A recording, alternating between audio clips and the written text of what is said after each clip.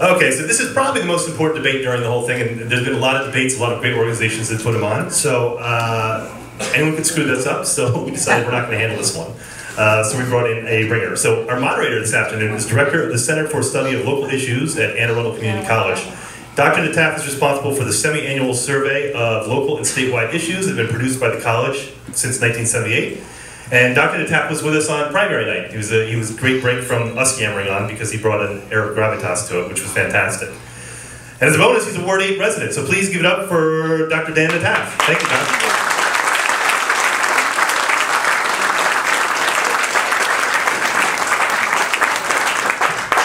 Thanks for that generous introduction. Uh, in case any of you are wondering when my next survey is coming out next week. So keep attentive for that and you can find out all the good news as to who's up, who's down, what issues are salient, which aren't. All right, today we'll be using the following format. Uh, we have about two hours for this debate. The first, yes, two hours.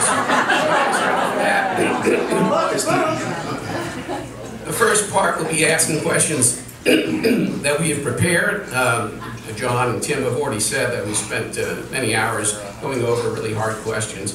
Um, each candidate will have three minutes uh, to address the question with a one minute uh, follow-up by each uh, afterwards. And if they become vague, I'll try to hold their feet to the fire for another minute or so. The second part will include questions prepared by the audience. Since we, uh, let me get a little water here. Oh wait, I have a, I have a huge pitcher that they think I drink pitchers. So I glass of water. John. Oh, I thank you. They'll do anything for a vote, right? All right. Where were we? Okay, the second part will be will include questions prepared by you, the audience. Uh, we anticipate that there'll be more questions than we can possibly uh, go over so that candidates will draw from a pool of questions and they'll have a couple minutes to address each one. Uh, each candidate will start with a, uh, an opening uh, statement and then we'll close with a, a, closing statement at the end. They'll have three minutes in each case. Uh, we did a coin flip and uh, the way it worked out to the mutual agreement of the candidates, uh, Gavin will go first in both cases, and uh, Mike will go last in both cases. So we start then with you, uh, Gavin Buckley. Hi there, how you doing?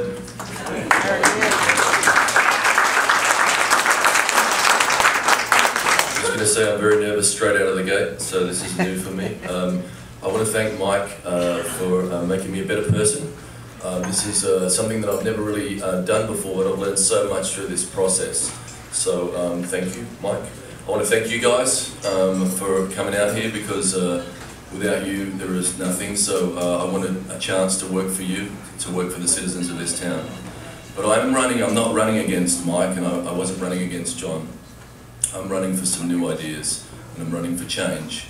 And I believe that um, what I see happening is I see our city um, selling off assets. We sold off uh, the old rec centre.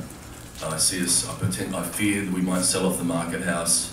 We sold off the golf course. And um, we're privatising things. And I believe that we're heading in a direction where we won't have a city left anymore.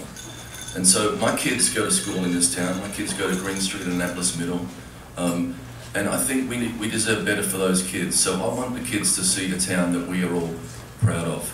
So um, I'm here asking for your vote. I want to thank uh, these guys for putting this event on. I, I, think it's amazing that citizens are this engaged and they want to come out. And I promise you I will be um, a good advocate for you. Thank you.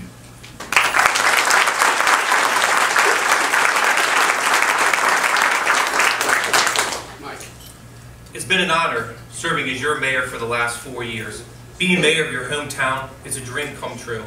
With the time we have tonight, I want to share with you why I ran for office, what I've done as mayor, and more importantly, my vision for the future. I love this city. I'm a third generation, third generation Annapolitan, was born and raised here. I ran for mayor four years ago because I saw the city heading in the wrong direction, and I knew that I had the leadership skills to move us forward. When I first got elected, I wanted to focus on local issues, like improving our fire department.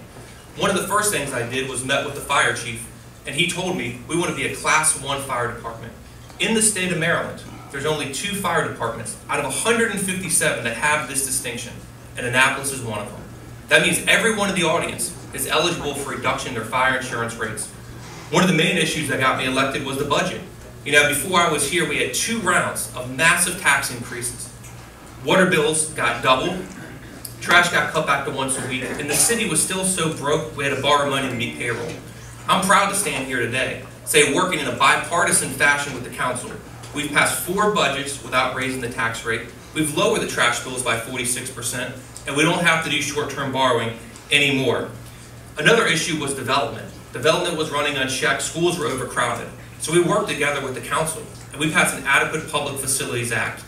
What that means is, if a school is overcrowded, you can hold up a development for six years. It's an important step. Both of my parents started out as teachers.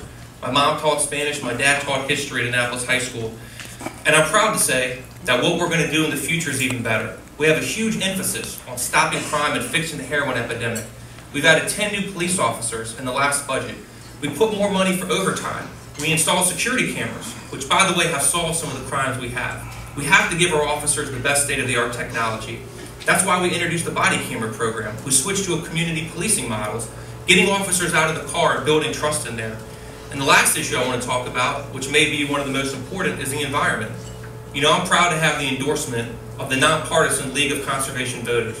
They did that because of my record, putting a million dollars in the capital fund for stormwater management, stopping the original massive Crystal Spring plan, and building an Annapolis Renewable Energy Park. I'm excited for this debate today, and I look forward to sharing with you my plans and vision for the future. Thank you.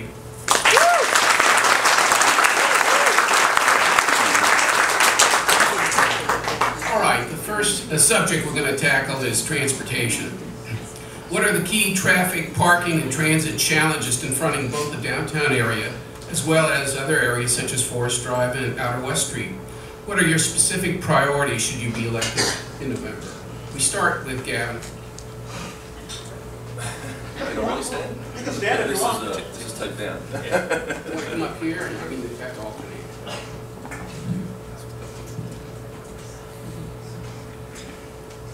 We have a lot of parking in this town. It's just not on the water. So what we have to do is we have to condition people to get out of their cars at the top of Main Street, not at the bottom of Main Street. That's one of the issues. People come here, try to park on the water. When they don't get a parking space, they circle round, they cause gridlock, they block up the Eastport Bridge, they block up Gate 1, and then they burn more fossil fuel. And then we, we're gridlocked and we get a reputation as a town that has a traffic problem. I have initiatives to get people out of their cars at the top of Main Street. We have three empty garages that sit empty seven nights a week and all weekend long. The Gotts Garage, the Whitmore Garage, and both of those garages are not in the garages are not in the current parking plan. And one of those garages is free. We need to use, utilize those assets. I have a plan to get people out of their cars and into trolleys that are free and that are funded by federal transit funds and that are run as a business and they get people out of their cars and they get people to different destinations in the city. They get people to Gate 1, a Gate 3 of the Naval Academy. They get people to Maryland Ave, an area that needs traffic, that needs uh, people going to it. They get people to St. St. John's, a college that not enough people see when they come to this city. It's a jewel. Everybody should see it when they come to Annapolis. And then uh, this trolley is going to stop at Main Street and it's going to go up and down Main Street. And um, I have to work with the business community on how we're going to implement this. But it's a fun uh, trolley. It's part of the experience. And so we're going to. That's called the Crosstown Flyer. We have another trolley called the East West Flyer. That that trolley will get people from the stadium um, to Main Street, to the bottom of Main Street, and to the bottom of the Eastport Bridge. And what we need to be doing is getting people out of their cars. We keep talking about traffic, but we're not trying to get people out of their cars as soon as possible. So just uh, that's just one small idea I have. Um, but, How about outside downtown? so yeah, so um, we, we need a for, for mobility. I talk about bike path connectivity. So I think if you look at cities like uh, if you look at countries like Denmark, fifty percent of the population get to work on their bikes. No one will get on a bike in this town because we're afraid to lose our lives. So, but if we put money into that infrastructure, if we used up, um, uh, uh, if we used open space funds to build solid uh, bike network around the city, that would create mobility. That would create assets for the city. If you do good bike paths in your city, there is a, an asset for the city. There are uh, um, Uh, they're, they're a great thing that, that you can sell houses on. So we need to do bike paths because bike paths mobilise people. We need to connect the Poplar Trail all the way to the mall. That's an ex- a way to get to a job. We need to be thinking about things like this because in 10 years, we shouldn't be thinking about building parking garages because we should be thinking about what's this city going to be like in 10 years. And hopefully, for our kids' sake, we are driving less cars.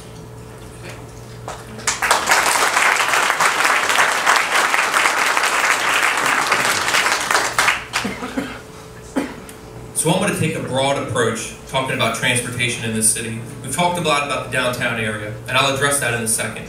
But I want to talk about the other area of transportation, and that's our bus routes, which a lot of people depend on. If I look in this room, I would assume most people came here in a car. That's not a choice for a lot of people in Annapolis. You know, when I first took office, one of the things I saw, we have to do better for our transportation system. I saw that our buses weren't working because there weren't bus shelters, and it broke my heart to see people standing in the rain. So when I came in, the bus shelters were taken down for two and a half years. I went in there and said, we're going to replace all the bus shelters, and I want it done in 30 days. I got it done in nine months, which is actually light speed when you're working in government. But everybody got done. Then I reached out to the county executive, and I said, 42% of our bus routes aren't in the city of Annapolis. They're in Anne Arundel County, and we can't afford to keep running them. Could you help us? He said, absolutely. So we increased our funding to 250,000, 500, to 750,000. Then I saw that we're not getting enough people to Annapolis. So we worked with the state of Maryland. And for the first time, there's a state bus that runs from the Eastern Shore to Annapolis to Baltimore. And they brought back the old run that runs from Annapolis to Baltimore, connecting people with jobs. When it comes to the downtown area, we need more technology. I used to work for a software company, and I realized we have to update things. Over the last four years, you're now able to pay with parking with your cell phone. If you don't want to stand outside and wait for the circulator, there's an app, which I encourage everyone to download. You can find where it is in real time. We put electronic uh, fare boxes in our bus system, so we have to do more to go. I agree. I've never stood up here and said we're always going to have parking downtown. The plan to get parking off of downtown is when we rebuild the Hillman garage to build it a level higher and a level lower. If we can do that, we can get rid of all the cars down there. But we can't do it until then. If we just get rid of all the parking downtown if we rip up a lane of Main Street to put a trolley and take away 150 parking spaces, it's going to kill all the businesses. We can't afford to do that. So the plan over the next four years is working together, finding more funds, make our transportation transportation system even better, and connecting everyone. Thank you.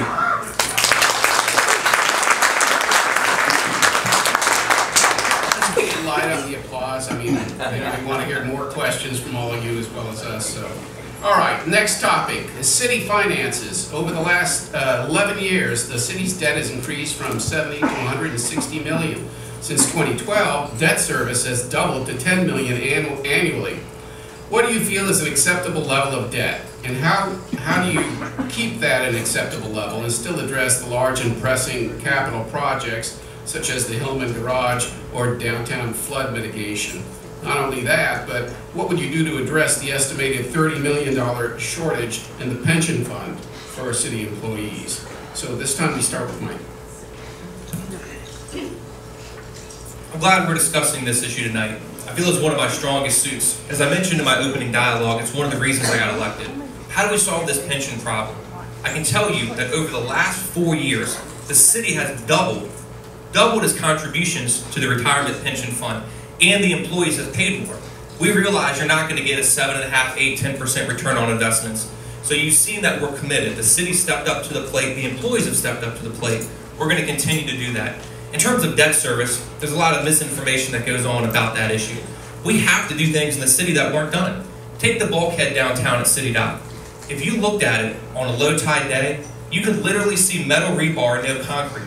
That shouldn't have happened under my administration. It should have happened a decade ago. But we did it, on schedule and a million dollars under budget. A water treatment plant was built in 1929.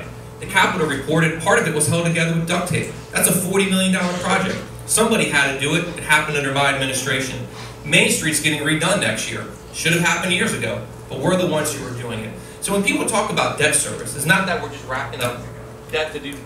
Oh, racking up, there we go racking up debt to do things we want to do. These are serious things. We've demolished our public works facility and building a new one. We're going to rebuild Hillman Garage. And the key to that is getting additional funds. If you look at flood mitigation, you know, I was shocked when I came into office. I said, what are we going to do to fix the flooding downtown? And there really wasn't a concrete plan. So I reached out to Governor Hogan and said, Can I have a million dollars to start this process? And he agreed. And we're working right now to figure out how we're going to fix flood mitigation downtown. Most of the water isn't coming up over the top, it's coming back up the storm drains. So we have a very detailed plan on how we're going to solve this issue. There's a lot of infrastructure issues in this city. I put more money into roads and sidewalks because kicking the can down the road doesn't work anymore. Our city can't do that. We have a 300 year old infrastructure. We're going to keep working harder. In terms of money, when people talk about bond ratings and debt, we've had two upgrades in our bonds. And I have to tell you, I've done a lot of interviews with the newspapers, the base. There is nothing harder than going in front of the bond rating agencies in New York because they rip you apart every way you could ever imagine. You're not doing this, this, this. Here's what you're doing good, and they upgraded us twice. So it's not my opinion that we're doing good. It's these rating agencies that are very difficult. But if I'm elected, we're going to keep moving forward. We're going to keep investing in the pension funds for our public safety employees who put their lives on the line every day. They made a commitment to us, and we're going to honor that commitment to them. Thank you. To this from a, from a business perspective. So um, I, um, as a small business owner, understand um, intimately um, what it's like to do business in this town. And so we need to be thinking about revenues, and we need to be thinking about ideas to raise revenue. On West Street, we were in an area where no one gave this area any chance. We turned that around, we created jobs, we filled vacant buildings, and we created a tax base through those business, through business ideas. So we need to be thinking about, I believe as the mayor of this city, that I'm going to improve the quality of life, improve, improve, um, improve the values of our homes. So we're going to increase revenues from, from, from increased uh, assessments on our houses. I think we are missing a lot of opportunities to get grants. We need to be seeking out as many grants. I joke about, I'm going to have a team of grant writing ninjas and they're going to help us uh, find every possible grant so we can get things done. And then we have to be finding the right private-public partners to get to, for this town. So we need to be thinking about things like what they've done in Newport. In Newport, um, four years ago, we, uh, the Univers University of Maryland um, uh, asked Annapolis to get into a contest with Newport. It was called Race to Resiliency. So in Newport, they have run away with this idea and we have just let it fail. They look at uh, tidal rise solutions as a business opportunity. So they take this idea, they create, uh, they create ten, uh, a portfolio of different projects, and then they look out to the private sector to get those uh, projects done and fund those projects. And so with that private money, with that private-public partnership, you can get things done. We know nationally now we're going to be getting less and less money from Washington, D.C. We have to be imaginative on ways to raise revenue. We have to look at programs like we see in other cities.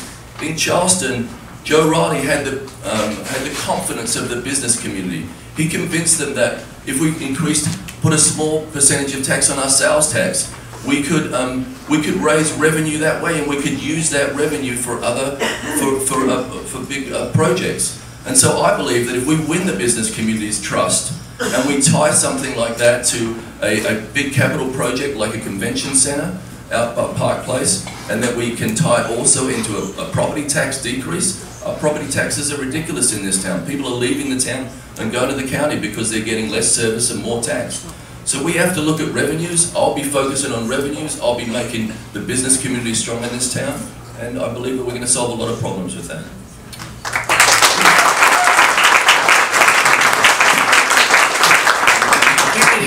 Candidates have a, a one-minute rebuttal opportunity. Uh, uh, first question, well, here we are in the second, so Mike, if you'd like to take a one-minute Sure. One of the things, oh, there we go. One of the things we talked about uh, for Mr. Buckley was grants. And I can tell you that in my administration, we've had a 40% increase in grants that we've gotten. But you were also accurate. We're getting less and less money from the government. So if we're getting less and less money, how are we going to keep increasing grants? And when we talked about well, you know what, everybody's assessments are going to go up and we're going to lower their taxes, that's contradictory. If your assessments go up, your taxes go up. So I think that's something we have to think about. But other than that, you know, I admire the work you've done um, on West Street. I think it's been a good thing for the city.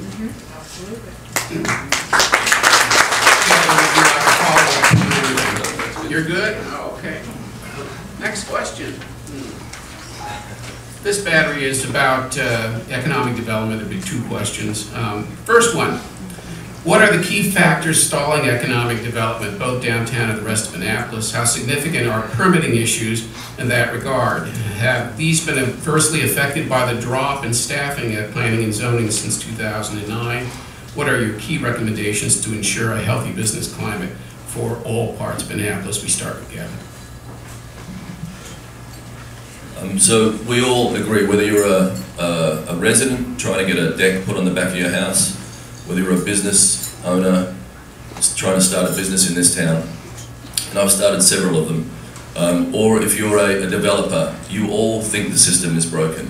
So we have a broken permit system. We have um, an unfriendly business environment in this town, and we have to turn that message around.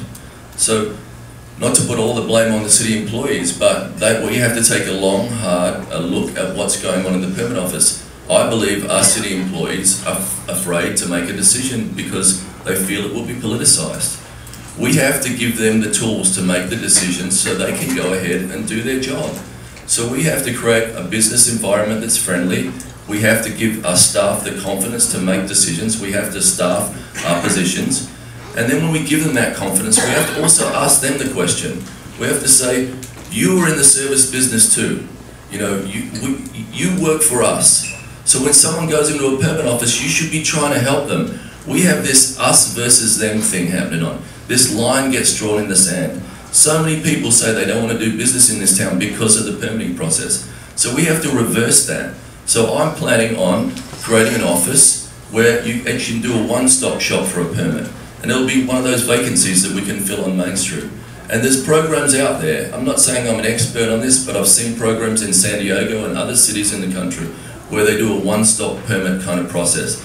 And I think that we need to do that because that permit office, and I joke about there being a conference table in the window, and above that conference table there's a, a 90-day counter. So at the very least, when the public walk by, they can see people with their heads in their hands. Um, and, that, and so people realise that these people have been in this office this long waiting for a permit. It takes years and years to get things done in this town. It shouldn't be like that. And as we wait years and years for things to happen, if it's a, a no answer or a yes answer, we should just make the decision. But if we, you know, if we if we just sit around and we don't do anything and, the, and no, no development happens here, and we need thoughtful development, we need the right kind of development that gets things done for us. But if we sit around and do nothing, and then we see the whole perimeter of our city get built up, then we're going to get all the negative effects and none of the positive effects.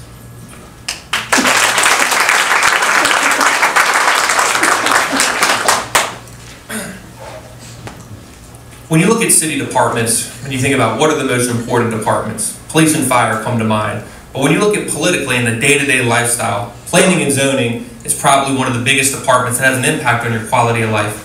So I just want to share with you a couple of things we've done and what we're going to do in the future. I agree with Gavin. I think if you ask anybody going 50 years back, getting a permit in the city has always been an issue. And it comes down to two things, people and process.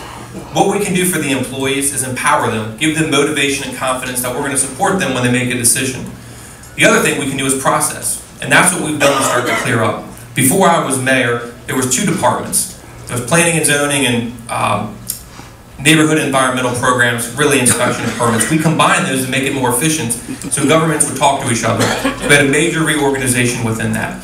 But when it comes to things taking a while, I think there's times where it should take a while. If you talk about the formal Crystal Spring project, if you talk about the Eastport Landing, I don't think we should fast track these things. And I think we should have a firm approach on how we deal with it.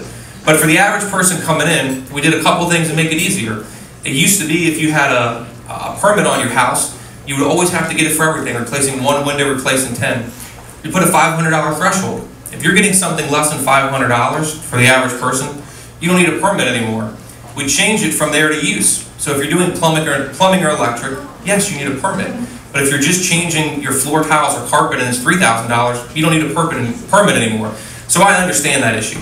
We're going to keep working forward to make it more efficient. We're going to try to utilize technology, giving people, you know, when I worked in the private sector and I had a thing called Salesforce, and every day it would pop up what I had to do, when I had to do it, and my boss and I saw what my deadlines were.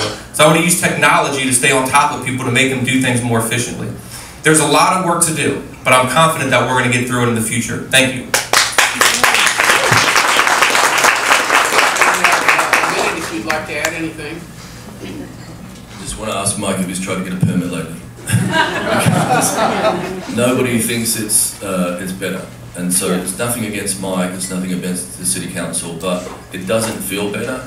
Stand at the top of Main Street and, and look down and tell me, does it feel any different? Go into the permit office and try to get a permit. It feels, it probably feels worse. And then also, stand in Robinwood and look at all the boarded houses. It does not feel better.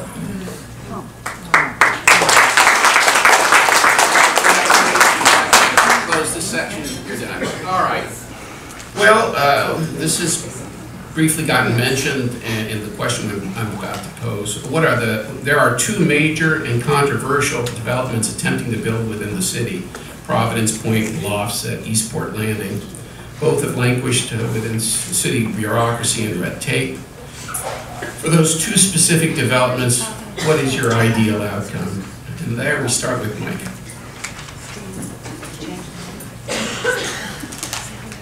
Thank you. When we look at the last election, it was really about two major development issues in this city. I won with 59 votes out of 8,000, and I'm humbled by that. I know I didn't win in the landslide, and I realized the two issues is what happened at the old Fawcett's building downtown and what was going to happen at Crystal Spring. We have to go back and remember the history. My opponent wanted this development to happen. I was against it, and I stood here today. People said I haven't stopped it. If I wasn't elected mayor, they would be out there right now chopping down trees and building houses. And that's a fact. What was Crystal Spring? We have to remember, it was a massive commercial and residential development. We had commercial development the size of the Harbor Center, almost 200 townhouses, a West Marine, a Wegmans, and Inn. This huge thing that would have overcrowded our schools, damaged our environment, and clogged up traffic. After rounds and rounds of rejection from city government, the developers packed up their bags and went back to Connecticut. Crystal Spring, as we know it, will never be built, and that's a fact. So what happened now? Providence Point, a group of people, the Lutherans, that wanted to build a senior living facility, came back and said, we would like to build just that piece on the property. And while I think everyone agrees that's much better than what was originally planned, it's still too big, it's still gonna jam up our roads, and it's still gonna cut down too many trees. So I'm not the person up here saying we're never gonna build anything. On 170 acres, you have property rights, but we're gonna make sure we do it right. Because there's always time to do the job over, and there's never time to do the job right. And this is an issue that affects us for legacy. You know, we talk about budgets and taxes. You can spend more for recreation, spend less, raise taxes, lower taxes. Once you let something of that size go through, there's no going back. There's no going back on it. For the Fawcett's building, they wanted to put this three-story monstrosity that was going forward. The day I got elected, and this is why elections matter, the developer pulled out. He wrote in the paper, Mark Wardan, he said, the mayor's elected, I'm not doing it. So do we let that sit empty forever, just a vacant piece of property? No. We did the opposite. We worked together with the community. I remember sitting through numerous public hearings, sitting in people's houses talking about it, and now we've got something that's going to be great for this city. It's keeping our maritime use. The boat shows are going in there. The Boston Whaler dealership, Northsdale, and they're going to have a restaurant with rooftop and outside dining. Because if you live in Annapolis and you're not a member of a yacht club or the Fleet Reserve, you can't really eat on the water. It's going to be wonderful. On the Eastport Shopping Center, and I see my time's running out real quickly, everybody wants something to happen there. Everybody wants to see that shopping center redeveloped. We just have to make sure we do it right. There was ambiguity in the code. There's a lot of things that we can make better. And I promise and guarantee you, we will make it better and we'll clear that up in the code. Thank you.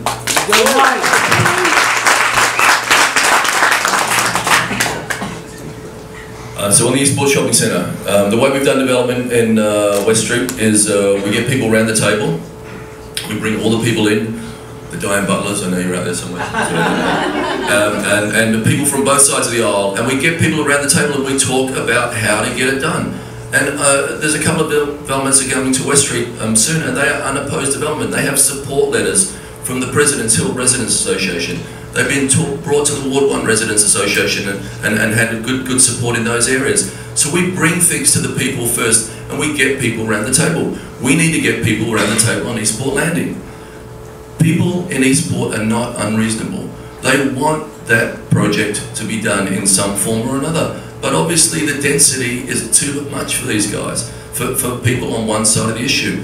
So I say you can get people around the table and you can meet in the middle and reduce the bulk of that project. And while we're doing that, we should be looking at things like um, a parking station.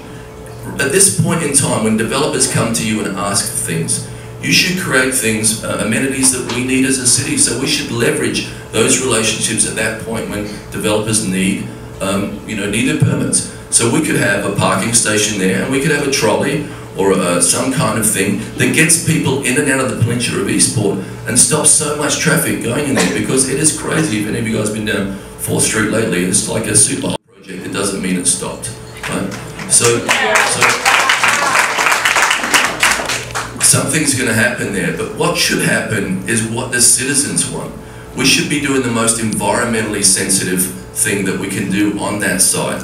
I'm sure Mike's going to walk towards that. But we should be thinking about things, and I think my version of Crystal Springs would be something that the citizens can handle, something that doesn't impact our life, our, our quality of life, something that is adheres to the comprehensive plan.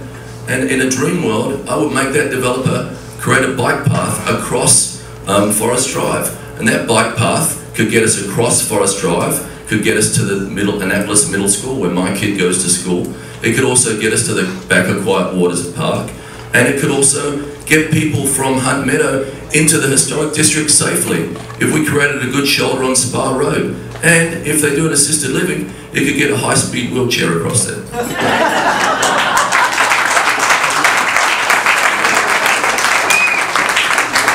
Mike, you have a minute if you'd like. Just real quick on that. Um, I think it's a false narrative to say Crystal Springs wasn't stopped because you had a plan that was a massive development. That partnership dissolved and they went back. And in terms of the property, you know, you make a lot of friends in this business. You help a lot of people, which is the best part of being mayor. People come forward and they say, You've helped me with so many things. But you also make a lot of enemies. And I've made a lot of enemies, mainly on my stance on development. When you top, stop a $200 million project, they don't want you to win again. And you can look at the finance reports, but the person that owns that property donated to Gavin's campaign. I guarantee they haven't donated to mine.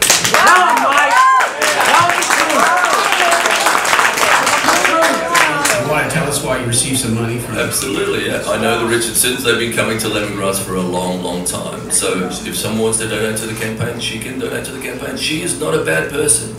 She's a, she has property rights. She, she, we, we should stop vilifying her. She has some rights, and so I'm proud to say that she donated my campaign. That's okay. Yeah. Let's move to crime. Crime such as the growing drug crisis and gang violence will be the top of, a, of list of concerns for many people, and Annapolis is no different. Crime is, in our city is generally concentrated in specific areas, most being in and around public housing. What specific steps would you take to reduce crime in Annapolis while keeping citizens informed of your efforts and while, without making the residents of public housing feel that they are being singled out as the cause? Here we start Gavin. So this is a, this, um, uh, an issue that really matters to me. My mum uh, lives in public housing in Australia. You can get um, public housing right, and you can look around this city at Bloomsbury Square, Annapolis Gardens, and see attempts to get it right, and we've done it pretty well in those places. The reason we have problems um, is because they happen in neighbourhoods where people think they've been forgotten. So we have to start caring about people. We have to find investment to turn public housing around, and we have great opportunities here. I see public housing as a great opportunity, but you have to invest in it. If people think you don't care about them, they won't care. So I've been to uh, Baltimore in the last six months to a project called Uplands. It was a development that was, um, um, they took about 100 acres of section, uh, blighted Section 8. They knocked it down, they found the right private-public partner. They rebuilt it, they rebuilt it with community centres and bike tracks and landscaping. They had Section 8 rentals, but they also had um, places you could buy. They had places for 100,000, 120,000, and they topped out at 220,000. And so, and then they had training for people, mortgage training. They had programs for people to get in there and start to achieve the dream. Because you know the rents that some people pay. If you go to Woodside Gardens, you know what Woodside Gardens rent is now? It's eighteen hundred dollars a month. That's that's not a cheap rent. And with that, you get hot and cold running gunfire. It is not. I mean, there's no amenities. That's what you pay in a place that gets a pool. So we need to fix these things. We need to make that our highest priority. I'm happy with Mike's appointment at Beverly on the, uh, uh, as the director of HACA. I think she cares about it. She thinks that we could set the gold standard in public housing in this town if she's allowed to stay. So I think that um, we should lead the way. We did some of the first public housing in the whole country in this town, and we should be leaders. We're the state capital.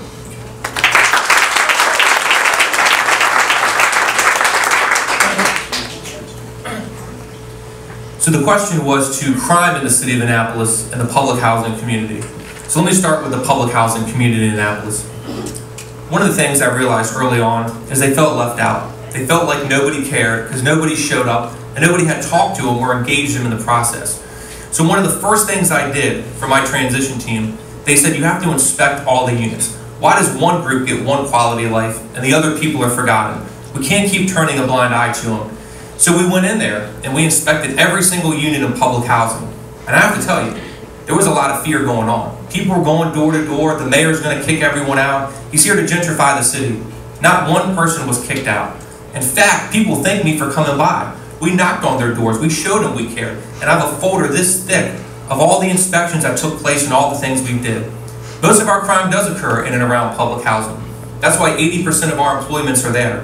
When you look at Eastport Terrace Harbor House. There's two officers there almost all the time.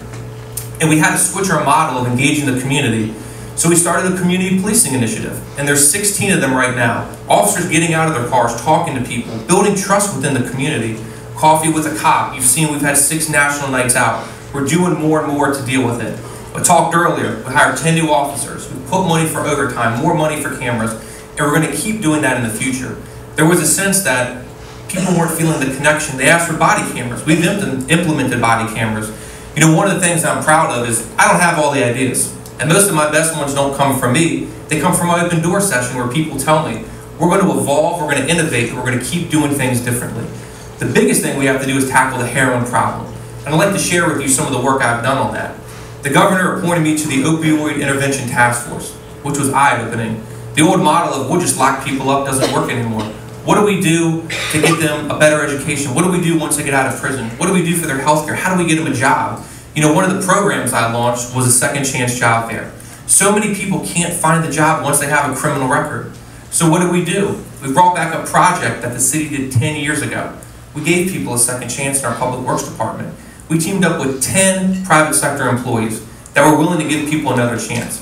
130 people came by. And those are some of the innovative things we're doing to get around it. We're going to make sure we get the drugs off the streets and lock the criminals up because public safety is the number one priority. It always has been and always will be. Thank you.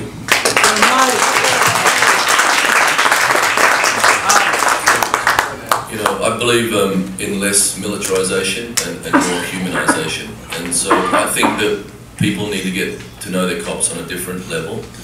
We did a little initiative a little while ago um, called a colour run, and we, uh, we ran a five kilometre race through Murray Hill, through Homewood, uh, past the police station, uh, down Taylor, and then down Clay Street, and the finish line was on Clay Street. And the idea was to get people to see cops outside of their uniforms, to meet cops on a different level. So I would try to initiate things that give cops a couple of hours a week to actually coach a sport team, be in a homework program, so that cops can build those relationships. We should incentivise development to come into this town that actually creates housing for police, fire, nurses. We can incentivise development that way. Because if you're a cop and your kid's going to the school, you're going to care about this place a lot more than if you just bus in and out. So.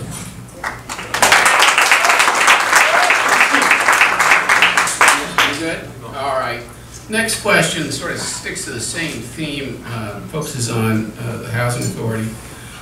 Public housing by design should be transitional housing, a temporary living situation until a permanent solution is found. Unfortunately, that model no longer exists and public housing has become a long-term solution. Vacancies are rare. Waiting lists are typically two years or longer. Do you think that in light of the churning of board members, weak finances, and possible, possible misuse of finances, HACA is in a position to tackle such problems. What would you suggest that HACA do to increase turnover and assist residents in developing plans to eventually transition out of public housing? So there we start with Mike. Thank you. One of the legacies I wanted to leave behind was trying to transform the housing authority, to make things different. And one of the first things I did was appoint new board members. And I think if you look at the board that I've appointed, it's probably better than any board we've ever had. And I brought people in with specific interest, um, expertise in certain areas, whether it was public safety, financing, how the housing authorities work in other areas, and they started to transform that. The first thing we had to do was figure out how bad we were, get an audit of what was going on. You know, when they came into office, they were dealt a bad hand. And they've done a lot of work in the future. And I think we have to give them credit for the work they've done. They've got a long road ahead of them, but they're on the right path. I think when you look at the RAD program, bringing in private money to help redevelop these, when you look at the ROSS Grant self-sufficiency programs to help people transition out of it, that's the model to go to. But the first thing is getting to show up. As I said, knocking on their doors, talking to people, asking them what they need, trying to improve their quality of life. We can't keep vilifying public housing. You know, 99% of the people are good that live in public housing. Most of the people work. That's a common misconception. People don't work. So we have to do more for job fairs and opportunities. Not just a second chance program. but we built the energy park in Annapolis, we've reached out to them for a job fair. We reached out for one when we did with Maryland Live Casino. We have to keep giving them jobs and opportunity. That's the key.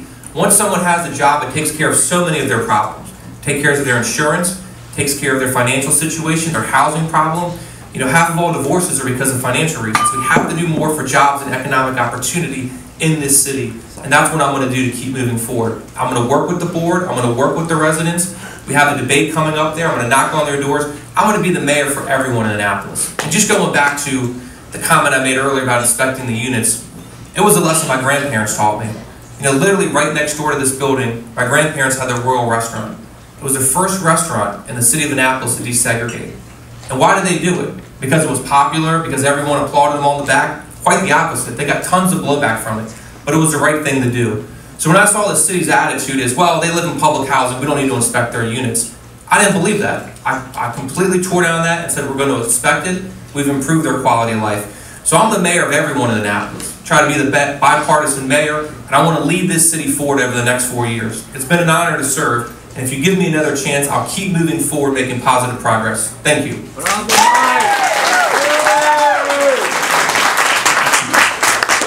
So I'm, I'm not sure I agree with that assessment, um, Dan, that um, it's just transitional. Because if you go into public housing, like I've been doing a lot for the campaign, and I've been door knocking and doing cookouts in all these areas, there are people there with disabilities, there are seniors, they are not going to graduate to a job, they are not going to find another alternative.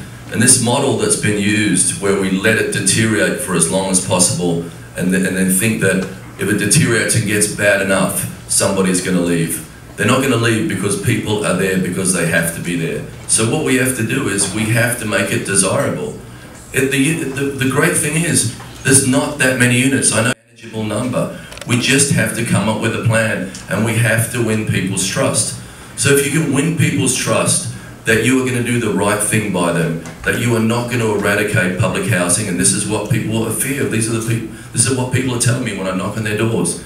They're like, we fear that this board is getting stacked and that this public housing is going to be sold off. So one thing for sure under my term, we will not be cutting deals that are 51% to the developer and 49% to the residents.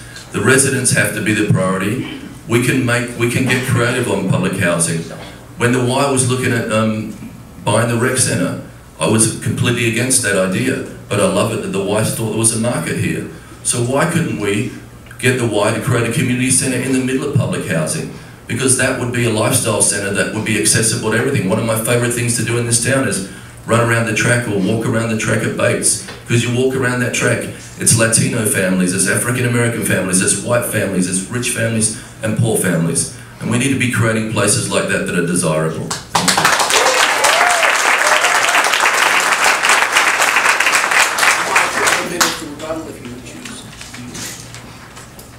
I would just say one thing about the fear that's going on out there. There is a lot of fear that people are going to shut down public housing. And we need to stop that fear. We need to stop that type of campaigning that says the mayor's coming in is going to shut down all public housing. Because I'm not. It wasn't an easy, believe me, I didn't score any political points for doing this, helping people in public housing. So I have a passion for it. I'm not here to throw people out. I'm here to make their quality of life better.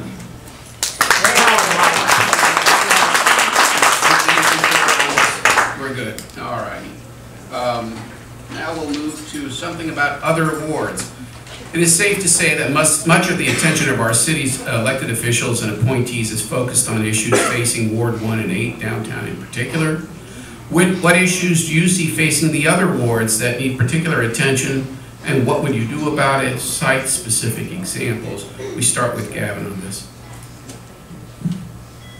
So um, we need to uh, bring um, economic vitality to all parts of the city. So I have um, some ideas for different regions, but definitely I, I think our biggest focus is um, in, in marginalised communities. So I think that you know the best solution to crime is a job.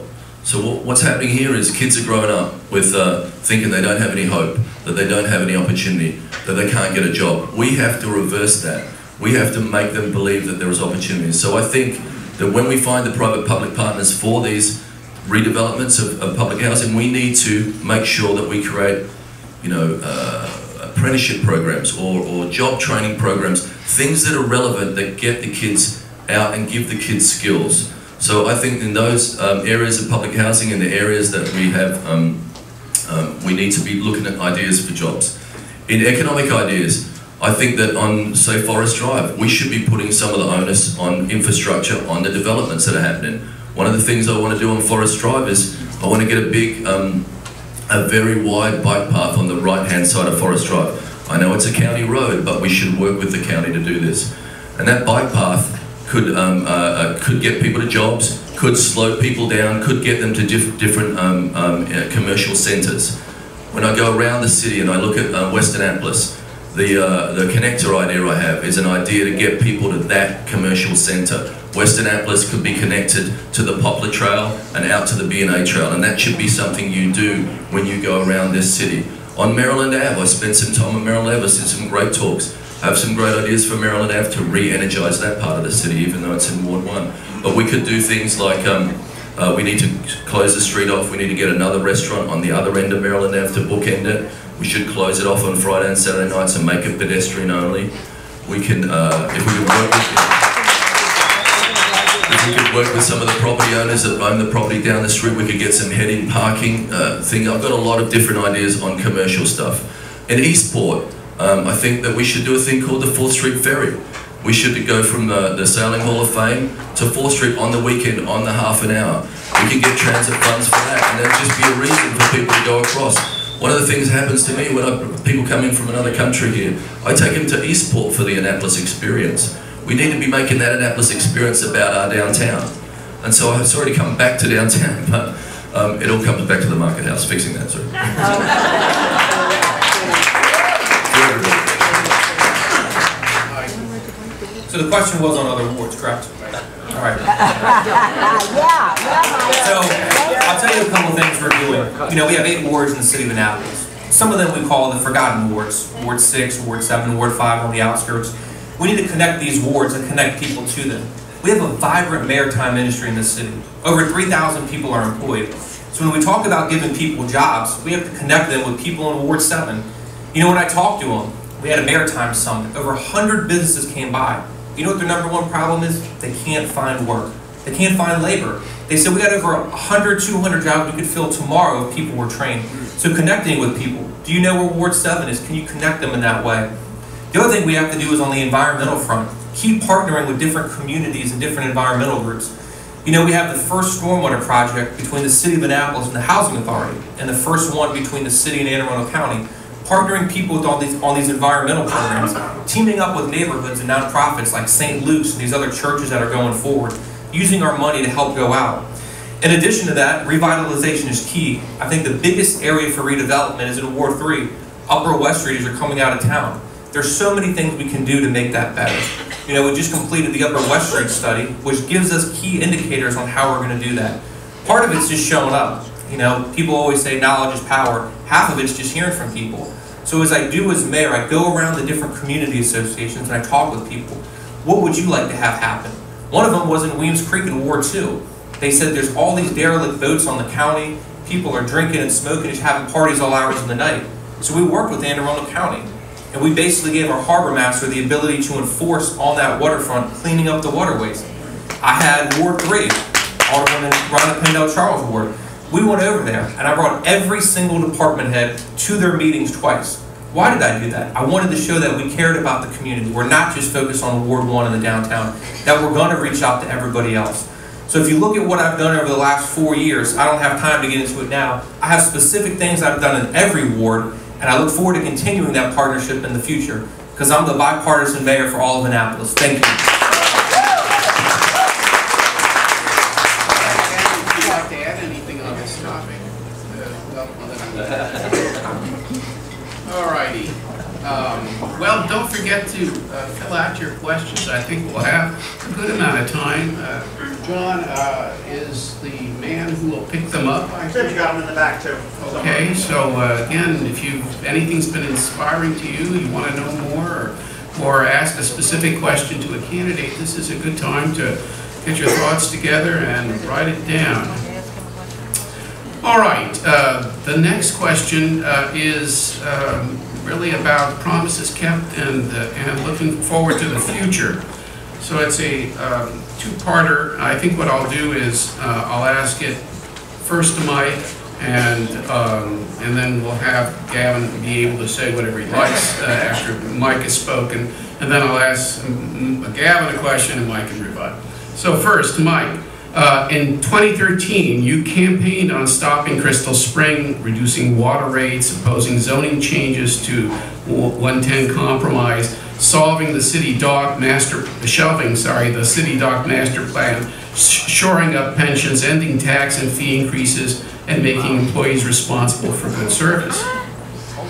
Um, How do you think you've done? I'm gonna have to ask you to repeat that list halfway. Let me hit it from the top. So I think we already talked about Crystal Spring, as we said, the original plan will never be built. The recent plans have been rejected going forward. Um, on the pension front, we talked about it.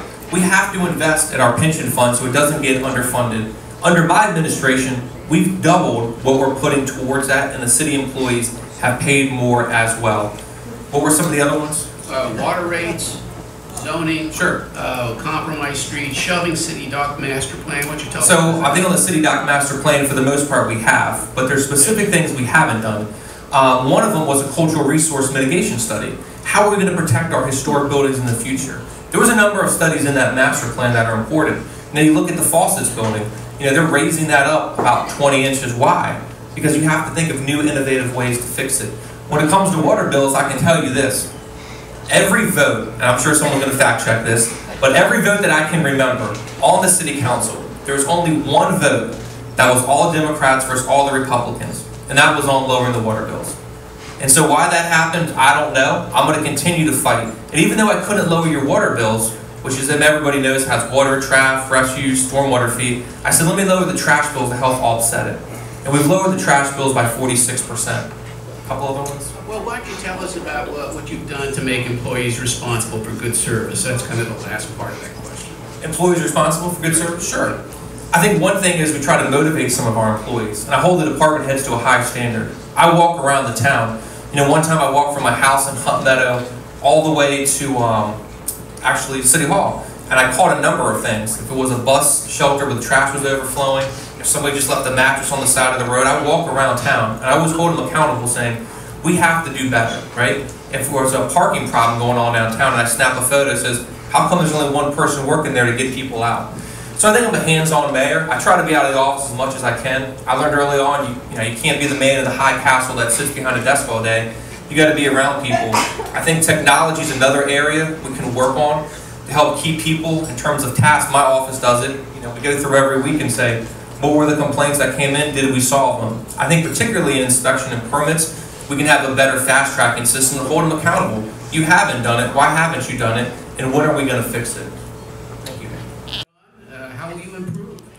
So um, I, I think the city dock um, master plan and the replacement of the bulkhead is a great example of what we do in this city. We do just enough to get by. So I spent uh, a little while um, ago, I spent a day with the mayor from Frederick.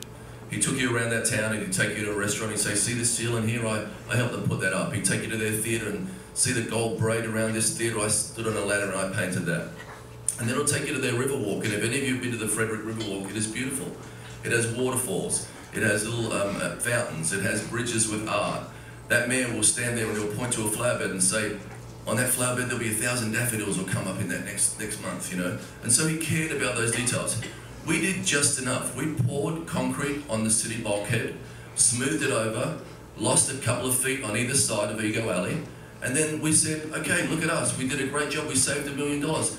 I want you to spend that million dollars, Mike. Spend that million dollars on backflow preventers and spend that million dollars on, on, on pumps. Just for that one low point, just for that one low point, people from the boat show are reaching out to me and sending me pictures now and saying, we have never seen the water this high at boat show. So we should have spent that million dollars and we could have used that first storm rain as a test case for us. On the City Dock Master Plan, I say this all the time, I want a park, not a parking lot. So, so, and the way we pay for it, what we do is, first of all, we cut the deal with the Green Street parking lot, with the Green Street, and that should be excess parking over there. And then we, we have to strive to be more beautiful. And, and, we, and I will convince the business community that if we make it beautiful, if we care about those sorts of things, more people will come and business will be better. But I know people are terrified to lose a parking space, but we need to reconfigure it and we need to think about things in a, in a, in a broader way. Prepared to allow Mike uh, a little bit of a rebuttal since it was brought up, this whole story of uh, bulkhead. So on the city dock bulkhead, I've said this maybe a dozen times, and hopefully it's the last time I have to explain it. When we rebuilt that bulkhead, we rebuilt it not only on schedule, a million dollars under budget. That million dollars is going to be used for other things in the city. Why did we build it that way? When I came into office, I said, how does this project affect sea level rise and climate change? And their answer was, it doesn't. I said, well, you have to change the plans. They said, no. This goes back to a grant that was under a previous mayor, and you have to use the money for exactly what it was designed for. If you change it, you'll lose all that funding. So could I have lost the seven, all the funding for it and do it again? Probably could have, but the dock could have collapsed at that point. So I do want to make it better, and we are installing backflow preventers. We have a plan. Not just on that, I went door to door and talked to businesses. We're applying for a $3 million federal grant. Because, you know, people say it floods, it hurts business. But how much does it hurt their business? We're getting those numbers on a day-to-day basis, when it floods and when it doesn't, to go forward. I got a $5 million ask to the legislature this year. We're partnering with the Naval Academy on it. We do have a plan to address it. We just have to find the funding going forward. You'd like to say anything, you're good? All right. Well, next question goes to you anyway, so, yeah. Um, All right, uh, Mr. Ga, Mr. Buckley. Okay. While you do not have any history to judge your political promises, you have floated some of your own over the course of the campaign. Notably, these have been about increasing mobility in the city, efficiencies in the process of working with the city, and increasing the desire for people to come to Annapolis. How do you think you're going to fare on these promises? I think no problems. yeah, so I, I don't, you know, in the business world, um, and I'm not saying I'm some expert business owner, I'm learning as I go along, I'm learning about politics, you know. But in the business world, you don't do things unless you have a way to pay for them. So everyone says, oh, Gavin has all these ideas, how's he going to get there? Well, I do look at them, and they're not going to get done until we find a source of funding. So you take things like the trolley idea. We can get a transit we can get federal transportation funds to buy the plant and equipment. And then we treat that as a business. We make that a business that someone can run for two years. And the way that person gets paid is through a tip system. I've talked to the um, electric cab drivers and talk about the money that they make. They, they could make from $50 to $500 a day in the old system when they were working on tips. So this tip system that I talk about is it's in an, uh, a, a trolley. It's an articulated one, so we can take one section off when it's not being used, and then put the section back on the weekends. It has a long clear tube, and that long clear tube is attached to a vacuum that's next to the driver. And when the people get on the trolley, and it's a fun trolley, they want to get on. It's part of the experience.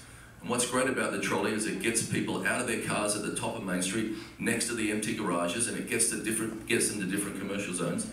But they open up a little uh, gate in this clear tube, just like you see in the bank. You put your dollar in, and the dollar flies to the front of the cab, and then the kid asks the dad for another dollar. And, this, and, then, And then that, also the guy that's, and this is someone's business, and the guy that's driving that cab has a PA system, and he is telling people about St. John's and Maryland Ave and Gate 3 as he's making its way down the street. Now, on the Main Street idea, people think, oh, he's going to take a, a row of parking away and ruin the city. First of all, I'm going to sit with the business community and say, look, I promise you, if you believe in this, it will be a good thing. And what we can do when we rebuild Main Street now is we can extend the sidewalk about a foot and a half. And if we could extend the right-hand side of Main Street sidewalk a foot and a half, we could actually create cafes from Treaty of Paris to Cafe Normandy to Joss to, to uh, Acme, and all those cafes would be on a curb and they would all have a view of the water. And that those cafes would bring an extra hundred thousand dollars of revenue to those businesses, and it would sit people on Main Street looking at the water and create what I believe would be a real European kind of cafe culture on Main Street. So it's just an idea. And, and, and in two years, if everyone hated it, well, we would take it away and we put parking spaces there. But if you don't try anything, you don't ever know. So,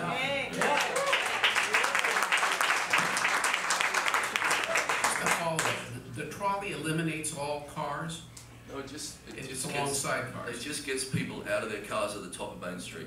So if you sign people into the garages, the state garage is empty all weekend long, seven nights a week. The Whitmore garage is empty. My dream is people get out of their cars at the top of Main Street at the visitor centre and they actually walk down Main Street. Because I think in this day and age, the one thing we have in this town, and the one good news about an Amazon world, is that at Amazon, person can press a button and the thing at the mall will be at their doorstep the next day.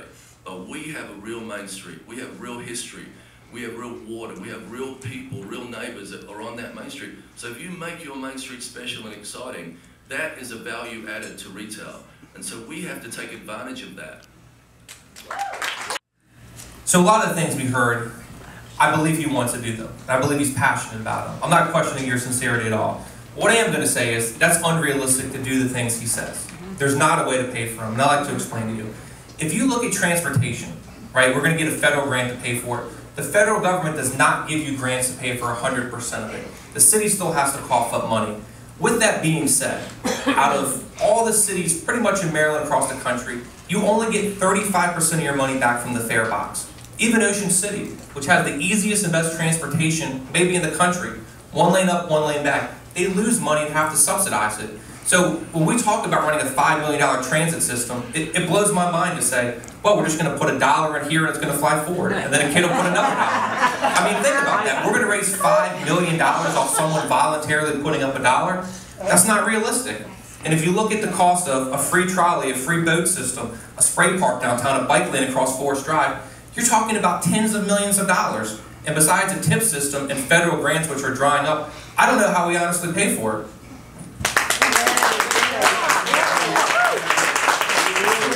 I'm not talking about the whole public transport system being on a tip. I'm just talking about a trolley that goes from gate three to downtown and a trolley that goes from the stadium to the Eastport Bridge. That little fun trolley, that part of the experience, I'm talking about that being on a tip system. This is definitely not about that. That's a much bigger question. All right, well, let's uh, stop it there. I know we could go on with this for a while. Uh, We're going to take uh, a little Tim break. Right. Hello. Now you're. That's fun so far, huh?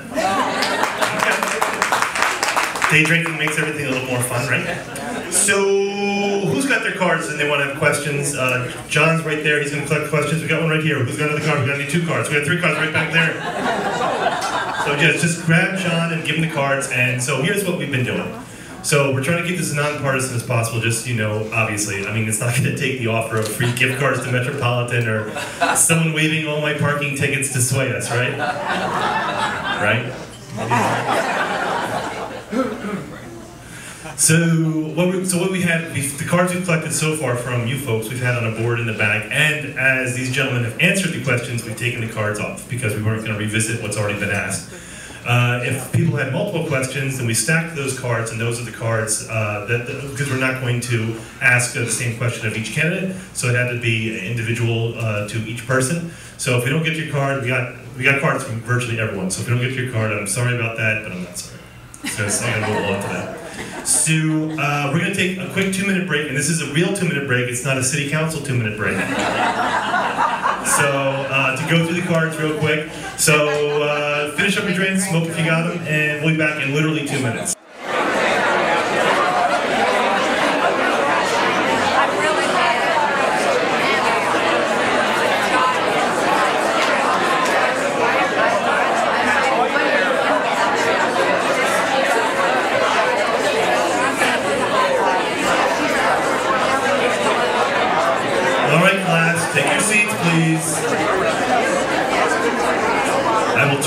This around and take us all home.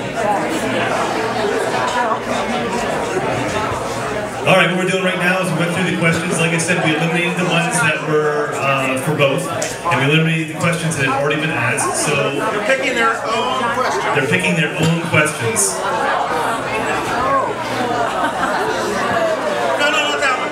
No, no, no, no, no, no. They're not picking their own questions. Do not boo me. That will not be booed. Want this, I'll go home. I get booed there all the time. They are picking the questions for each other. Apologies, please. Thank you. Was that so hard? You see them apologize to me when they're wrong, sweetie?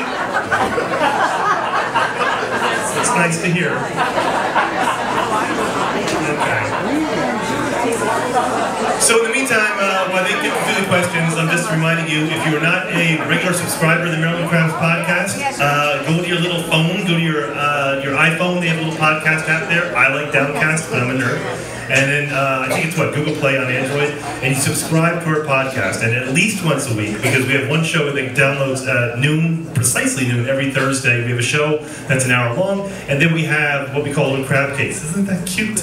Because they're not quite as long as a regular episode. They run between 25, 30 minutes, and whatever we want to do. And uh, John also has a daily briefing for the Annapolis, which is every day around noon, and that's about a 10 minute news cap of the most important news stories of the day, which I actually listen to. I do, but I don't. Because I listen to a lot of stuff. But uh, that should be it. How are we, how are we looking? I want to be ignored, Dan. Fatal attraction. Hey. Okay, great. And it's back to you, sir. Wonderful. Well, uh, we had uh, many, many questions submitted, and uh, what we have done is allowed uh, the candidates to blindly choose uh, the questions that the other candidate will address. But they didn't know what those questions are, so they couldn't make them particularly mean or anything else. All right, so uh, we will start with Mike, and uh, this is the first question uh, that Gavin picked for Mike. Newtowne 20 residents are living in substandard conditions, mold problems, plumbing problems, problems with bats, crime. What are your plans to improve all of that? Mike? You're absolutely right. And if you look at public housing in Annapolis, Newtowne may be one of the worst. The first thing you have to do before you fix a problem is know what the problem is. When the federal government does inspections, they don't really inspect the housing units. They do a random sampling. Maybe we'll take one here, one over there. They don't know what's happening in every unit. My administration changed that. So now we know what we have to do. We're going to work with the housing authority to make sure they can fix it. I told them they could use our lobbyists to help apply for more federal and state grants.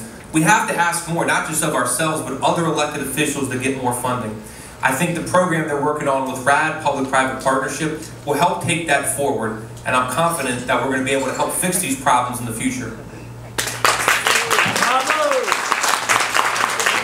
Wow, quick answers like that, we're gonna need more questions, John. All right. Uh, okay, uh, well, this is an easy one. Uh, this goes to Gavin.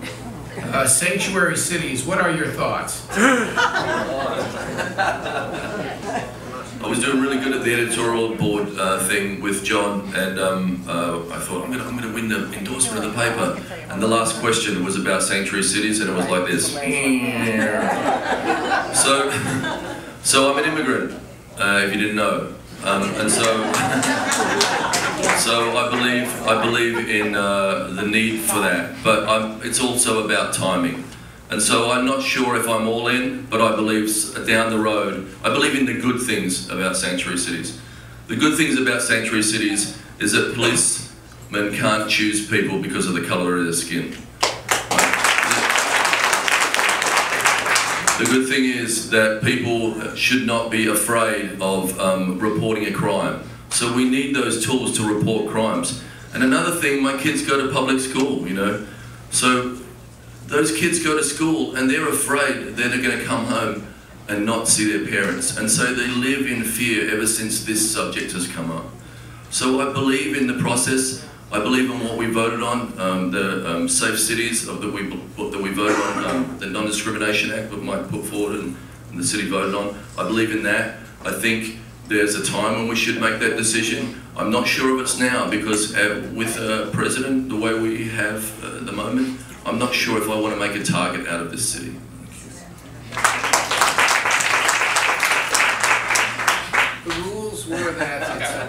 deal and it goes two minutes per person and that's all. I'm sorry. Uh, but you can't answer this question, Mike. Uh, panhandlers and homeless people are increasing in numbers, particularly around Church Circle. What are you going to do about that? There's a lot of people struggling in this city. Everyone in this room right now, they're going to go home, probably drive their car, lay in their bed at night, and not have to worry about where they sleep. That's not the reality for many people. We have a number of Title I schools. I believe 70% of people at um, Germantown Elementary and Mills Parole are on free and reduced meals. There's a big problem out there. So one of the things we're doing is we're trying to work with our nonprofit sectors. Probably the biggest and best thing we've done is a lighthouse shelter. When you look at the work that they do, they don't give people a hand out, they give them a hand up. The city's partnered with them, we've donated money to their campaign and other groups to help people go forward. As far as panhandling goes, you know, part of what we do as a government is sometimes reactive, not proactive. You know, it's not Big Brother where there's someone on every corner every second. If someone calls our police department or if someone calls our inspections unit, they'll ask them to leave if they're playing music and disorderly. So we do have people out there we ask them to move, but if someone comes back every day, that means someone's got to come out there every day. And we live in a free country, and we can't just ban someone from coming downtown. But we'll make sure that our police and our inspectors are on top of it, moving them along, because it is a distraction to quality of life and everyone's enjoyment. Thank you.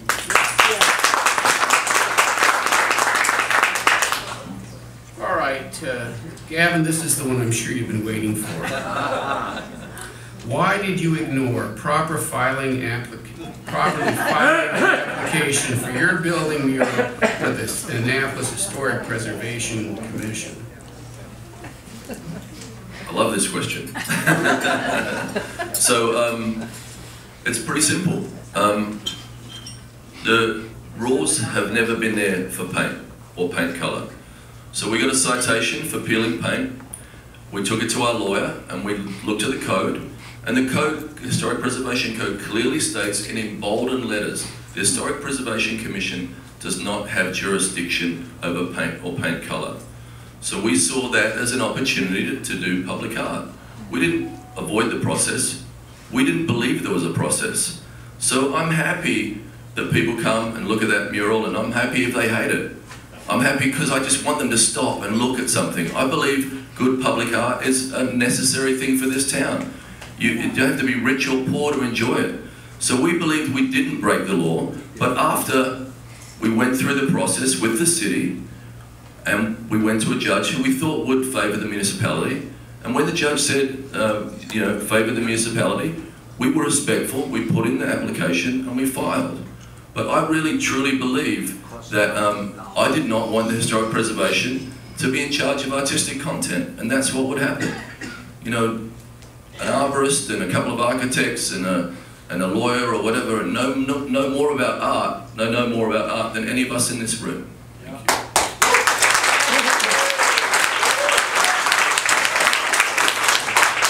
right. uh, Okay, uh, this is an interesting one for, for Mike. Uh, Some are concerned about your relationship with the national GOP, uh, shutting down Chief Baker, sanctuary cities. The bottom line is, do you support President Trump? The big elephant in the room, so let's address this, and I'll start with uh, Sanctuary City since it came up again. If you look at these other debates, and one of the great things about what we're doing here, we're talking, we're having a good time, but all these are televised. And in two previous debates, Gavin was asked if he supported it, and he said yes. So I'd like to talk to you about what sanctuaries are and what they're not. Sanctuary city is very simple. It mainly means one thing. If somebody commits a violent crime, class one felony, a murder or rape, that the local jurisdiction, your police department, cannot cooperate with the federal government. I think that's a terrible thing to tie our police department's hands. What a sanctuary city is not. A sanctuary city doesn't mean that the police department can deport people. We never have, we never will. It doesn't mean that a kid's going to lose in-state tuition. It doesn't mean they're going to lose a driver's license. And it doesn't mean any of the things people make it out to be. It's very simple if you look it up. Should our police department be able to work with the federal government in the case of a class one crime? Number one. Number two, this election is about local issues. It's not about President Trump. It really isn't. You know, when you look at the issues that happen in this city, I know we got the Gavin crowd over there. I've done things. You know, you look at the last election, right? When they were doing presidential endorsements, I endorsed John Kasich because I thought he was modest, bipartisan, and would be good for the city. When Donald Trump does things that aren't good for the city, I talk out about it. I think everybody in this room, Democrat, Republican, thought it was terrible to defund the Chesapeake Bay. But the one thing I won't do is sit here and condemn and say, oh, we gotta, I have to respond to every single tweet the president does. Because I'll tell you a fact, he's tweeted more in his first five months than I have in four years. So every time I get a response about, boy, what do you think about the president this? What do you think about the president that? It distracts away time from what we're doing on the local issue. I want to make our fire department sustainable. I want to work on our police department and keep giving them the tools they need. So if you look at my administration, whether it's Trump, Barack Obama, you never really hear me talk about why it's not important to the day-to-day issues of your quality of life. Thank you.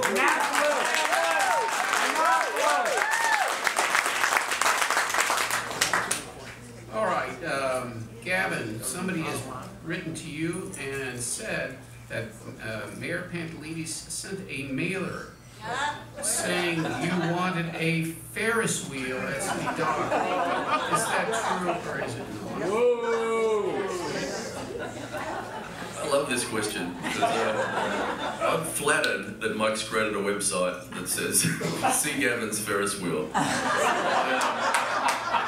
and I'm going to blame John Tim for that question. So um, the way this, I'm on the record saying we need things for families to do when they get downtown. There is nothing to do when you get downtown. It can't just be t-shirt shops and bars. And so what do we do to get families downtown? I say we need things like city bike shares. We need a blade of grass at City Dock, for God's sake. We need, um, I carousels, spray parks. These are ideas you see in other cities. And when the um, Ferris wheel idea came up, I was on Eye on Annapolis, and I said to these guys, here's an idea for City Dock. What do you think of this? A Ferris wheel, and we call it Eye on Annapolis. So I'm going to blame them, and it's based on the London Eye. So last time I checked, the Lon- London was a pretty historic city, and not, this is just an idea. I'm going to have a lot of them. You know, if everyone just has a reaction to it. But I think we should be not making our city dock the biggest, the, the most pretty parking lot in America. It should be other things than just parking lots.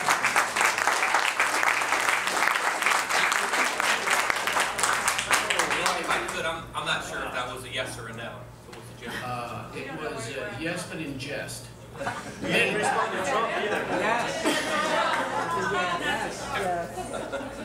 Uh, yeah, okay, uh, to Mike. Two to three years in, do you think SP Plus, the entity which deals with parking, right, uh, is doing a good job, the job you expected? I think they've done better. We're in a better spot now than we were four years ago. But I think we have a lot of work to do going forward. I think the fact that we can pay with parking on our cell phones is the right step forward. I think the fact that the city of Annapolis passed, uh, got rid of rules to allow private people to open up parking, that's opening up probably close to 100 spaces is positive. I like the fact that it's circulators on an app, and I like their vision for the future, that you'll be able to find real-time data in the garages of how many spots that there are. I think that the fact that we put residential parking permits online is more efficient and is better for residents. I think there's a lot of learning curves. They've hit a lot of stumbling blocks. Parking's a big issue in this town over the last 40 years, not just four years, and will continue to be. I think incrementally we're moving in the right direction going forward. And with the little bit of time I have left, and not to go back to the previous question, because on the Ferris wheel when you listen to it, and that's why I did the website, you know, a lot of people said things like, my opponent said this, my opponent said that, and it's never backed up. So I said, I want you to watch the video link. I want you to hear the, read the transcript in his own words, because it wasn't just a joke. I mean, there was very specific details about, look, it's gonna be on a two-year lease, here's how we're gonna fund it, it's gonna be a 50 by 20, and it was very detailed explanations of how this would happen. And so if that was a joke, I think we have to ask the question, is the carousel a joke? Is the spray park a joke?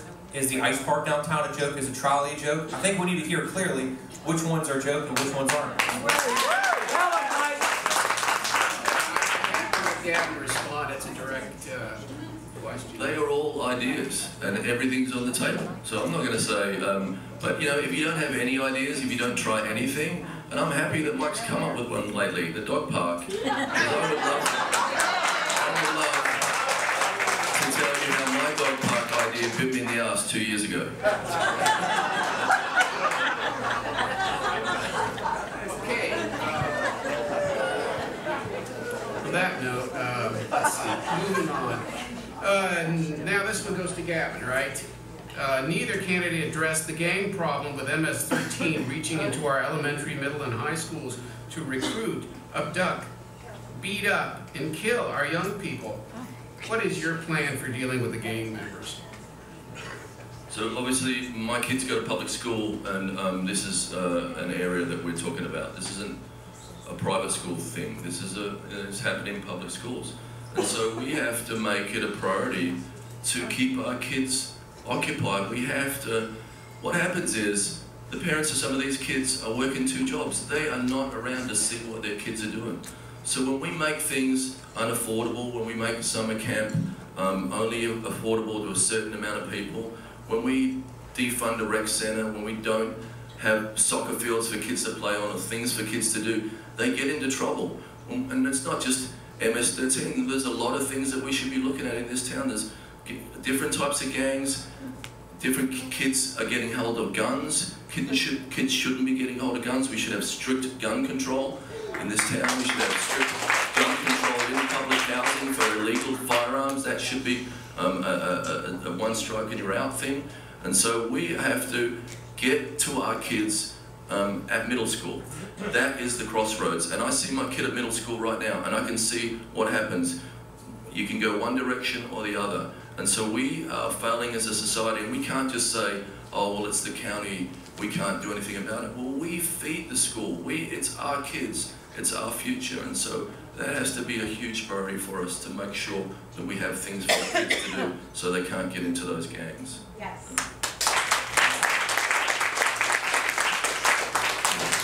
See, here's one from Mike. Uh, What are your plans for partnering with the county to make the safe stations inclusive as the initiative, I believe, started in Annapolis for this program? Tell us what that means. Sure. So one of the things we talked about earlier is demonizing people that have a mental health addiction. We have to change the mantra of just locking people up. One of the programs that the county started and the city followed on was safe stations, which means you can go to any fire department in the city of Annapolis or Anne Arundel County and ask for help. You can walk in there and say, I have an addiction, and maybe you have drugs on you. Can you give me help? No consequences. They don't arrest you. They connect you with mental health agencies going forward. We've done that. We've had, I think, 100, 150 people come by willing, and I think we need more of that. You know, more importantly, even though the city doesn't run many of the social services or mental health, we have to work with the county and the state and our other elected officials and ask for more. There's a big stigma around mental health, which is a major cause of addiction. And how are we going to deal with that going forward? So I think we've partnered with Anne Arundel County in a number of ways. We've partnered with them on transportation. We've partnered with them on getting boats out of Weems Creek. We've partnered with them um, on the elections. We've partnered with a number of things. I think we need to continue to build that going forward and offering more people opportunity and hope. Saying, look, you're not just going to get arrested. There's going to be a second chance for you when you get outside. We're going to connect you with mental health agencies. It's the biggest issue we face. Gavin's absolutely right. Absolutely right. When I was in one of my meetings, I was talking with people, they were talking about how they engage kids, and they said, "Oh, yeah, we have this great program we're doing in middle school." And I said, "Kids are doing heroin in middle school?" They said, "Yeah. By the time they're in high school, they're already gone." I said, "They're already gone." So I think getting engaged at a younger age is so important, and we're going to continue to do that in the future. Safe stations is just one of the things we've done, but there's more we're going to do in the future.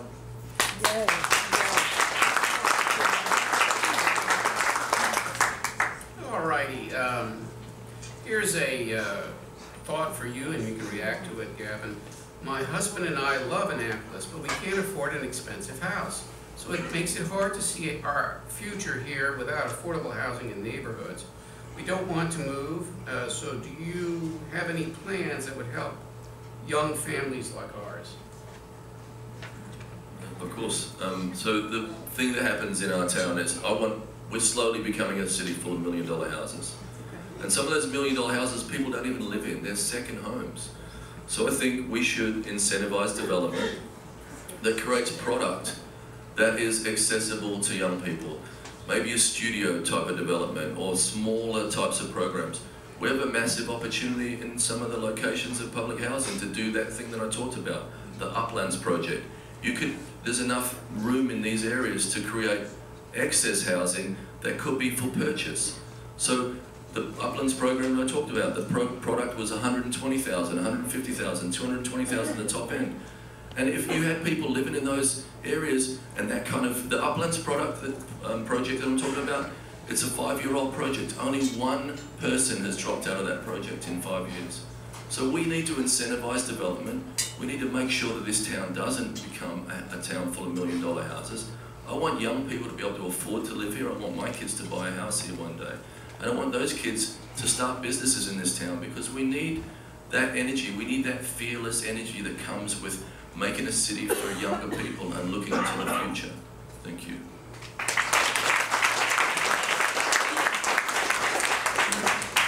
All right, we're almost at the end. Um, Closing statements will be soon, but not quite yet. Um, We have like one final question. So we'll ask uh, Gavin first. Uh, What do you think is the most significant accomplishment of uh, Mayor Pantelides? I think he did a great job on snow removal last year.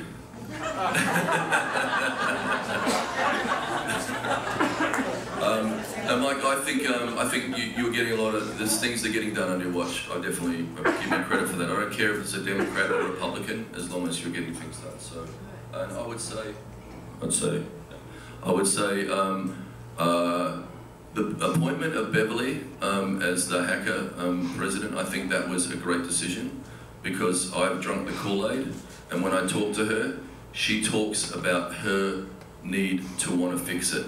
And so I love that passion and I think that um, she can get the job done.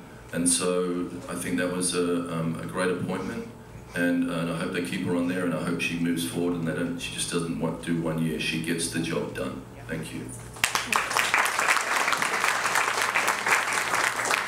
Uh, We'll flip it around. Uh, Mike, uh, what do you think is Gavin's greatest contribution to the city of Annapolis? Well, first of all, I have to say thank you. I'm glad we actually ask these questions in debates because it keeps it friendly instead of always going after each other. I think there's, I'm gonna say more than one. There's a lot of things you've done, Gavin, to help this town. I think one of the, I think one of the main things you did was help revitalize West Street. You know, when you look at Lemongrass, when you look at Tsunami, when you look at Metropolitan, the city of Annapolis is better because those restaurants are there. I think you have a passion and a lot of ideas. You know, dining under the stars. I remember people came to city council and said, don't vote for it, it's gonna shut down traffic. And I said, look, kind of to your point, we're gonna try it. If it works, it'll work. If it doesn't, it won't. So I think you bring a lot of energy and fresh ideas to the debate. And, you know, regardless of whatever happens, whoever wins, I hope we can work together.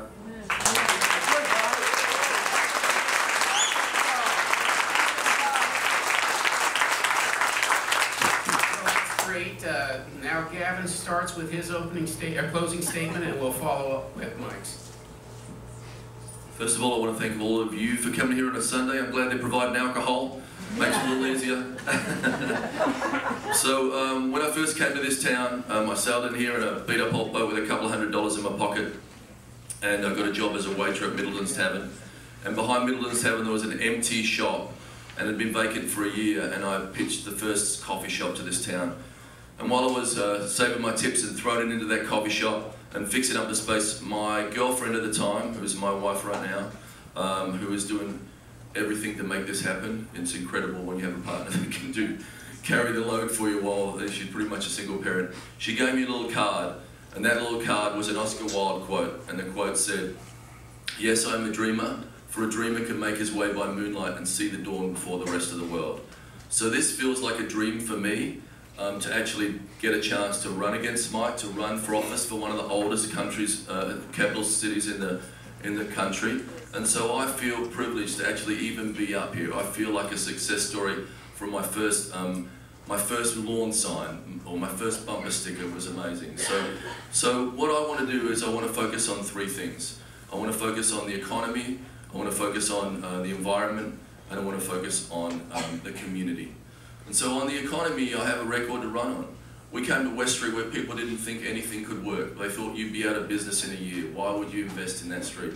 We invested in that street because it was, it was diverse, it was different, it had some edge. And we made things happen. We made Tsunami happen. We made Metropolitan happen. We did a fashion store and gift shop. We did a, a lemongrass. We did um, a salon, Hudson Foucault. We did businesses that brought energy to that street. We drove arts agendas. We so West Street's come a long way, and now I want to do that for the whole city. So you know what the solution to crime is? A job. You've got to give people jobs because kids have got to have hope. And I'm a job creator, and I can take empty spaces and turn them around. I don't have all the answers, but I'll find the people that have the answers, and I'll go to the cities. Is I'll go to the cities and get those um, get those answers and get those ideas and look at best practices in other places and bring this back things back to this town and make them happen. I didn't realise it was only three minutes there. on the environment, we should be we should be leading the way on green initiatives. We should be a no discharge zone in Spa Creek and Weems Creek and Back Creek. That should be a priority. It sends a message about who you are.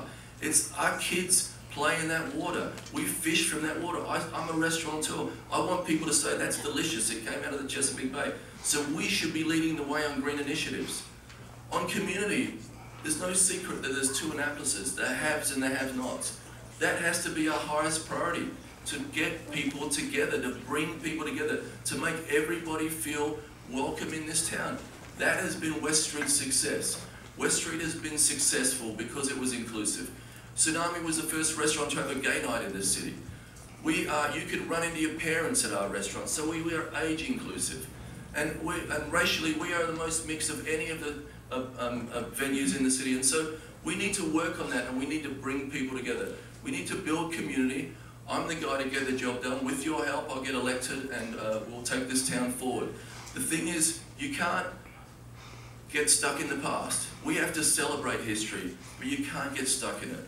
So I'm going to take the town forward with new ideas. I'm going to try some new things. With your help, I'm going to reach out to you and ask you for ideas and, and, and, involve those ideas. I'm going to build community where people want to volunteer for, for uh, groups. Sorry.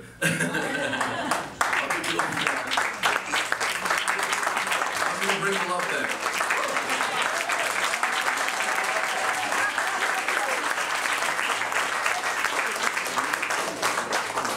have uh, an extra minute over and above. Well, first of all, thank you all for coming out. I know everyone has a busy schedule, especially on a Sunday. Taking the time to get involved in local politics is so important. I want to thank Gavin for running. You know, one of the challenges we have in this is we don't have enough people running for office. There's automatic races that have been uncontested for years. I want to share with you my vision for the future. We've talked a lot about our accomplishments over the past. We've talked about the fact that we haven't raised the tax rate in four years. I'd like to continue that in the future. I've talked about my open door sessions, the first Tuesday of the month. Anyone can come in and talk to me. That's where some of my best ideas come from. I want to continue that in the future. We've talked about our transportation system. How do we move people around this city? How we've improved it, but we're going to make it even better in the future through partnership. Some of the biggest legacy things I want to leave behind is on the housing authority. It will not get changed overnight. But if you look at the work that we've done, and it's not about you or me or the fact that they're losing money, it's about people. It's about the children living in those conditions and that neighborhood. We have to do more to make their life better. I'm committed to continue to work with them. I have regular meetings on them. I'm going to push our federal and state official, officials to do more for them. We're going to have a great police department in there, and we're going to give them more jobs and opportunity. We talked a little bit about the job fairs in the past. The economy is so important to people. We're going to work with our maritime industry to make sure they can find people. We're going to promote the solar energy park. You know, that's just one thing we've done. We took an old city landfill, which was literally a pile of trash. We leased it to a private developer. We're putting up 55,000 solar panels. It's going to make the city $20 million over the next four years. Bold, innovative solutions taking us forward. When we talk about what else can we do to make our city better, there's a lot of things we can do. And it comes from people out here in the community working together in partnerships. I talk about the environment and getting the endorsement of the League of Conservation voters. But I can't do it alone and they can't do it alone. It's about connecting everyone. And I'm proud to say we had our first church be green certified in the city. We had our first senior living facility get certified in there. It's going to be the residents, the business community, everybody working together to make sure we have a clean and green environment going forward. I also have a passion about technology. How can we make things better? You've heard some of it with the apps and everything else. Um, but there's a number of things we can do. Drone technology is huge. When there was an accident on Forest Drive, on average, it took us three hours to clear it. Now with drones, we can clear it within an hour. They fly up, take photos, and move on. I got elected because people wanted something different. And I think that's what I've offered over the last four years. Bold and innovative solutions, working with the community. And that's what we're going to do in the future. So if you had to sum up what are the big things we're doing in the future, number one, we're going to keep making our police and fire department number one and reaching out for people. Number two, we're going to work on the environment, making sure we have the best environment, because it's not about us. None of us are going to be here 100 years. It's about our kids and the legacy we leave them. Number three, we're going to transform the housing authority. Anybody who knows me knows one thing. I refuse to quit and give up. Number four, we're going to work with our business community. Planning and zoning will be better, and I'm counting on all of you to help. We have a number of boards and commissions that are open, have vacancies on. Please volunteer to serve. You know, this is my dream to be mayor of my hometown. And every single day I wake up and I work hard to make the city better.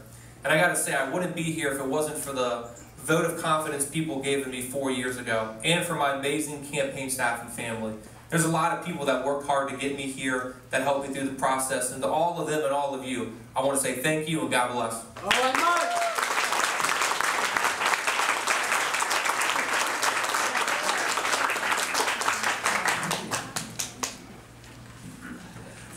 Thank you all for coming out. Thank you, Mayor Pantelides. Thank you, Gavin Buckley. Thank you to the Ramshead. Please make sure you tip these servers really well. They're busting their chops for you on a Sunday morning. I want to thank Ray back there for handling our video, Teresa and Kathy for doing our timing. Uh, certainly the 300 or so of you out here and the people that are watching on Facebook for coming out and spending part of your Sunday with us. Elections are very important and we all need to cast the right vote for ourselves, so be informed. At both Eye on Annapolis and the Maryland Crabs, we've been all over the election. So before November 7th, go back, check them out, see the interviews that we did with all of the aldermen and all of the mayor candidates, and make sure that you vote on September 7th. It is so critically important.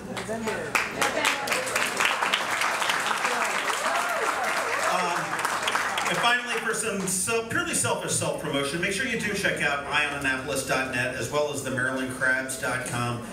Um, we got a lot of fun stuff going on there. Give the podcasts a listen. All the links are in your program, so make sure you take your programs home and share them with your friends.